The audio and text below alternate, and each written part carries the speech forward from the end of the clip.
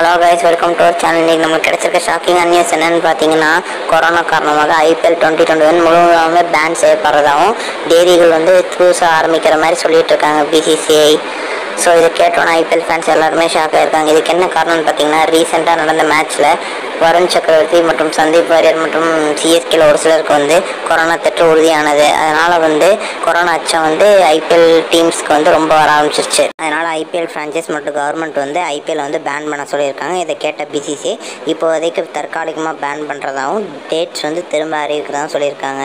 இதை பார்த்து உங்கள் அப்பா என்ன கீழே கமெண்ட் பாக்ஸில் கமெண்ட் பண்ணுங்கள் தேங்க்யூ கைஸ்